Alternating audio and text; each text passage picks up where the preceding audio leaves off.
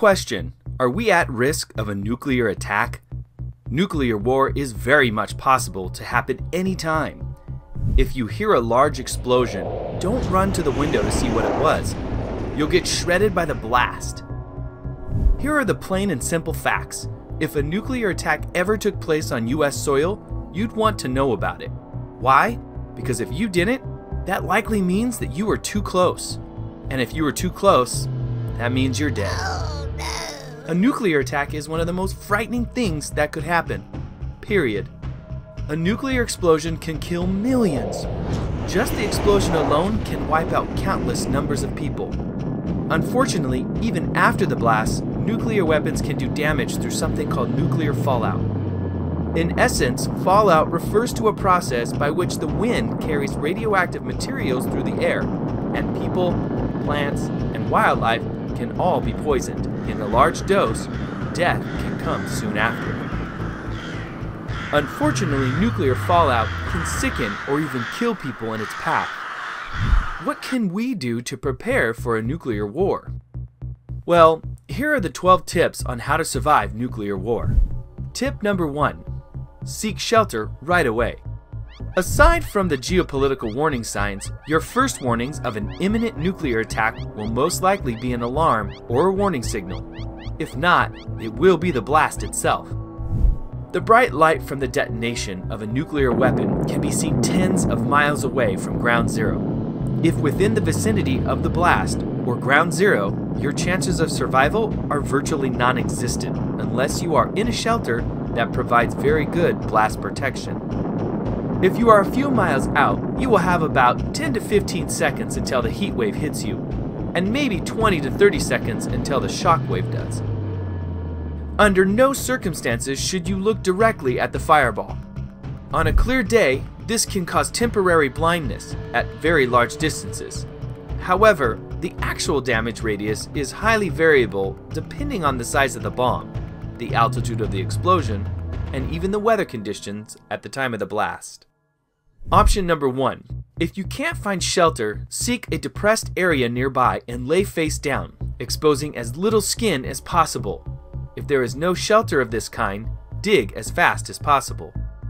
Even around 8 kilometers or 5 miles, you will suffer third degree thermal burns. Still, at 32 kilometers or 20 miles, the heat can burn the skin off your body. The wind itself will peak at around 960 kilometers per hour, or 600 miles per hour, and will level anything or anybody caught in the open. Option 2. Failing option 1, get indoors. If and only if you can be sure that the building will not suffer significant blast and heat damage. This will at least provide some protection against radiation. Whether this will be a viable option depends on the construction of the building and how close you will be to the likely ground zero of a nuclear strike. Stay well away from any windows, preferably in a room without one. Even if the building does not suffer substantial damage, a nuclear explosion will blow out windows at enormous distances. For example, one nuclear test in the Novaya Zemlya archipelago in Russia was known to knock out windows in Finland and Sweden. If residing in Switzerland or Finland, check if your home has an atomic shelter. If not, determine where your village, town, district atomic shelter is and know how to get there. Remember, anywhere in Switzerland, you'll be able to find an atomic shelter. When the sirens sound in Switzerland, you are advised to inform those who may not be able to hear it, for example, the deaf, and then listen to the national radio services. Option 3. Don't be surrounded by anything flammable or combustible. Substances like nylon or any oil based material will ignite from the heat. Tip number 2. Remember that radiation exposure can cause large numbers of deaths. Initial radiation. This is radiation released at the moment of detonation, and it is short lived and travels short distances. With the large yields of modern nuclear weapons, it is thought that this will kill few who would not be killed by the blast of heat at the same distance. Residual radiation, known as radiation fallout. If the detonation was a surface blast, or the fireball hits the earth, large amounts of fallout occur. The dust and debris kicked into the atmosphere rains down, bringing with it dangerous amounts of radiation. the fallout may rain down as contaminated black soot known as black rain, which is very fatal and may be of extreme temperature. Fallout will contaminate anything it touches. Once you have survived the blast and the initial radiation, for now at least, radiation symptoms have an incubation period. You must find protection against the burning black soot. Tip number 3. Know the types of radiation particles.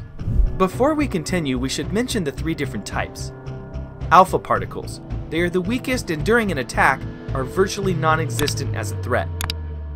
Alpha particles will survive for only a couple of inches in the air before they are absorbed by the atmosphere. They possess a minuscule threat from the exterior. However, they will be fatal if ingested or inhaled. Standard clothing will help protect you from alpha particles. Beta particles. These are faster than alpha particles and can penetrate further.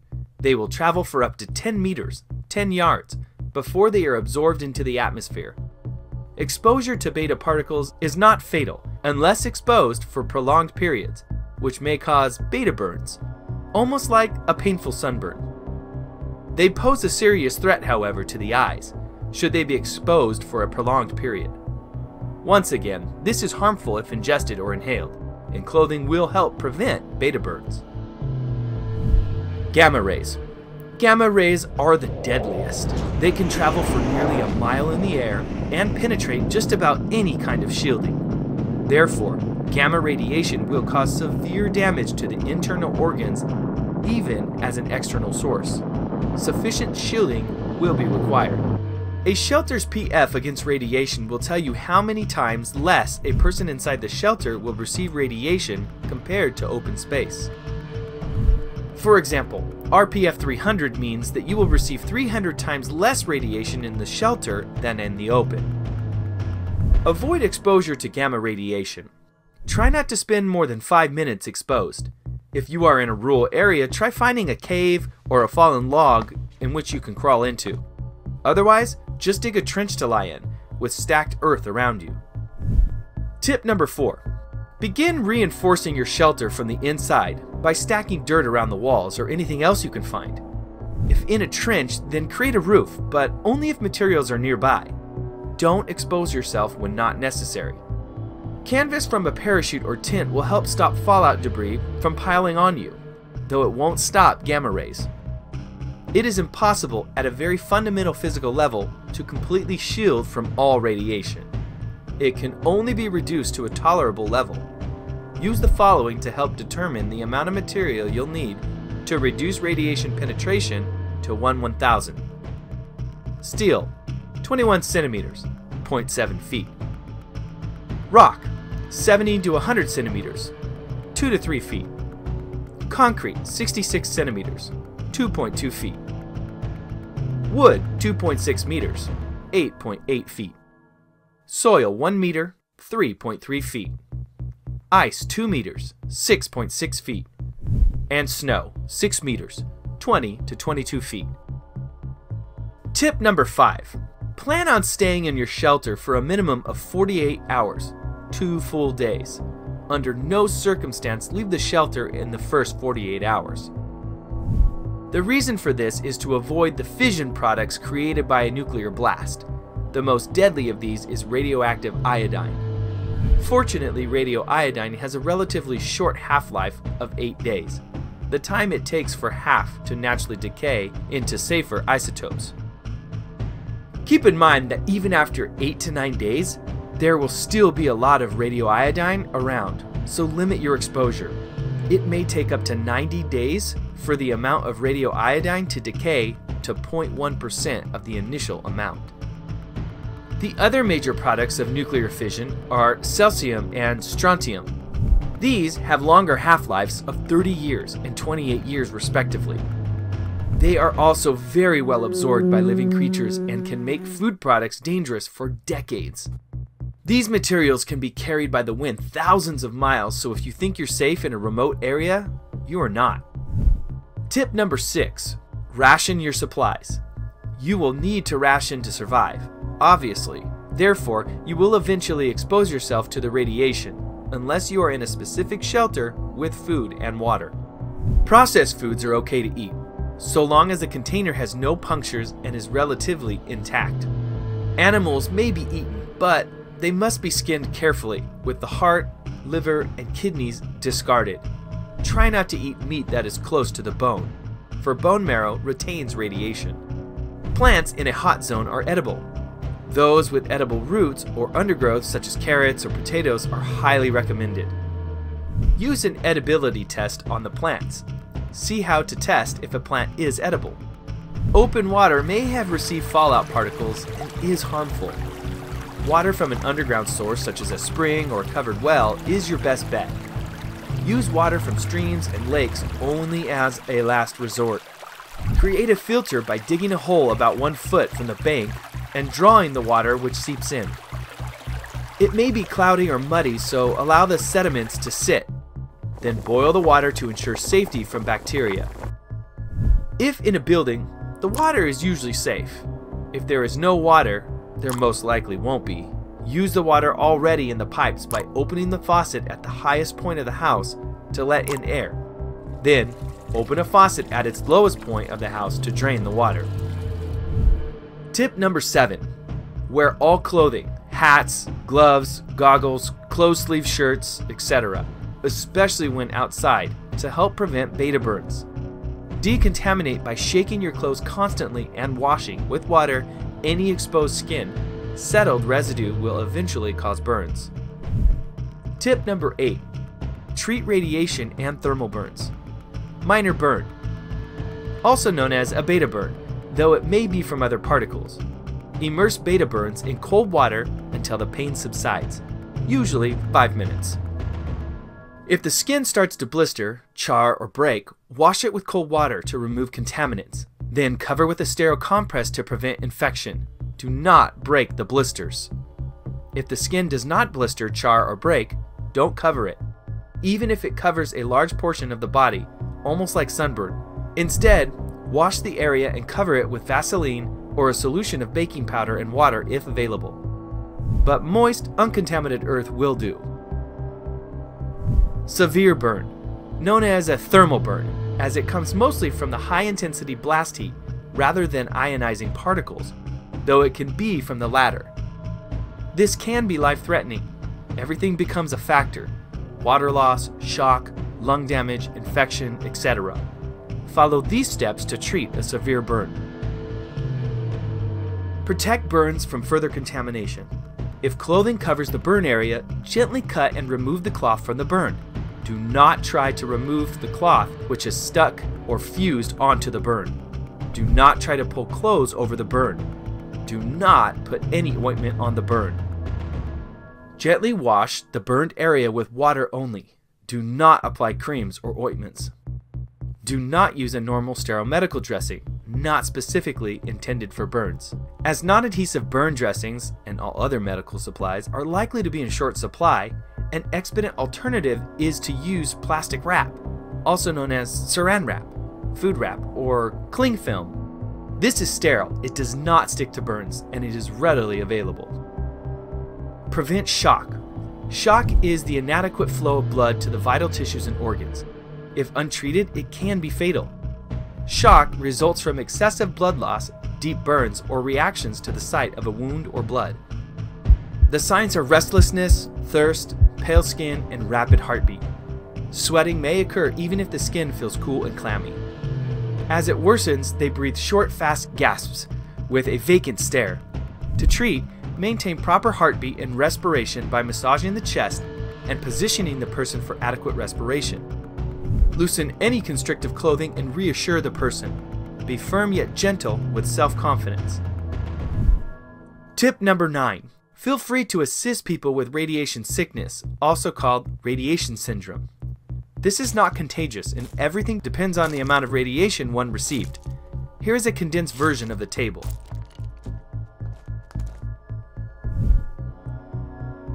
Tip number 10.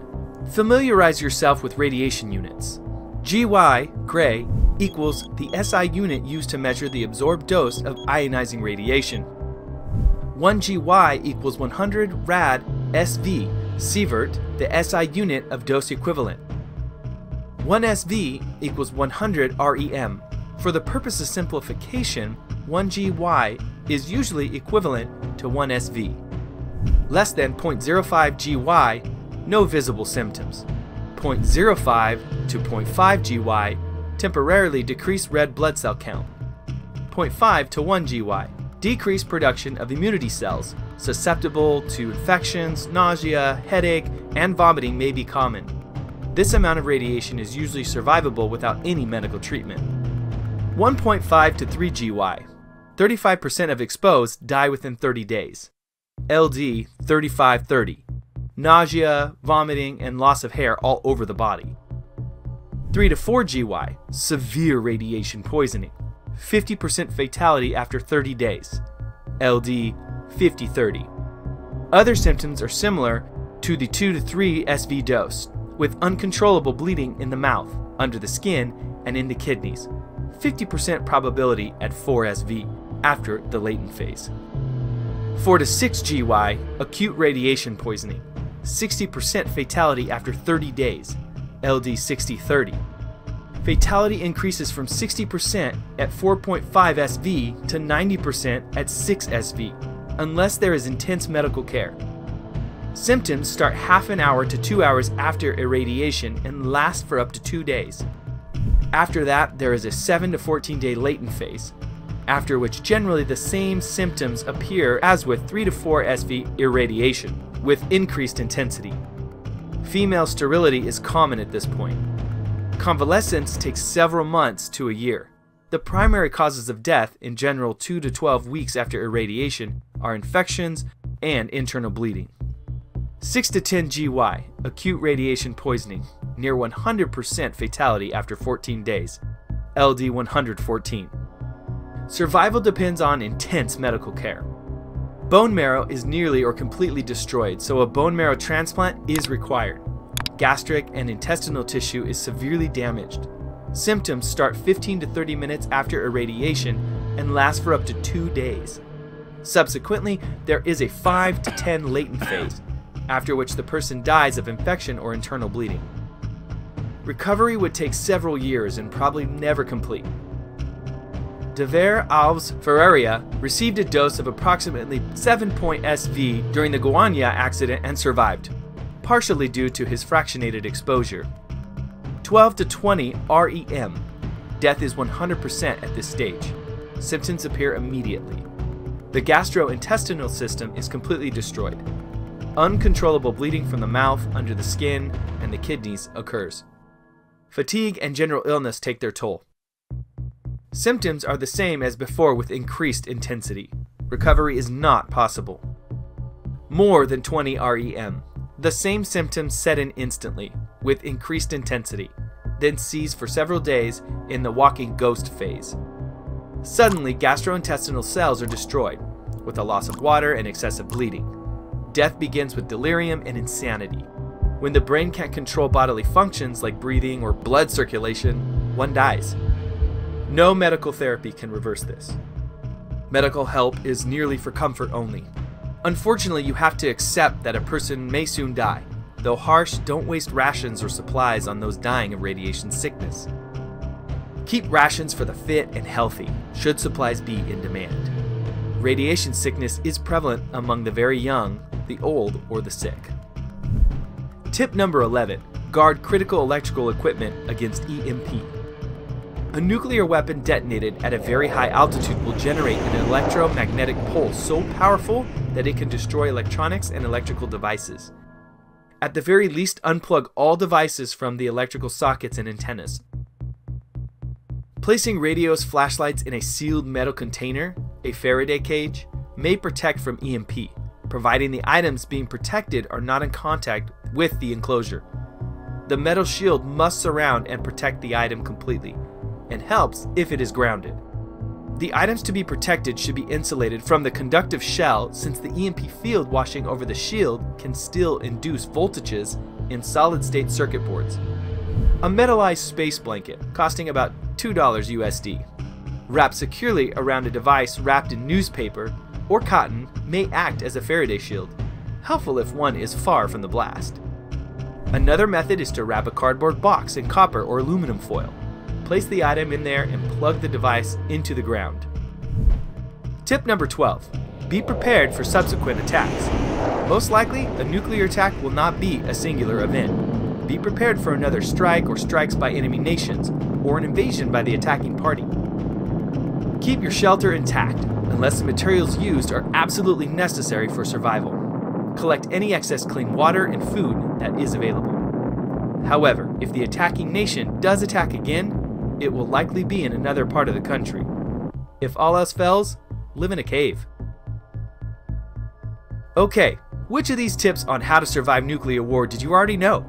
Let me know down in the comments. If you learned something new today, then give this video a like and share it with a friend. But hey, don't go and prep for nuclear war just yet. We have cool more videos coming soon for you to check out. You can watch the other video here on the side and make sure you have subscribed to this channel and don't forget to hit the notification bell icon so you will be updated on all our new uploads. Remember, light your tomorrow with today. Idea Haven. Enjoy!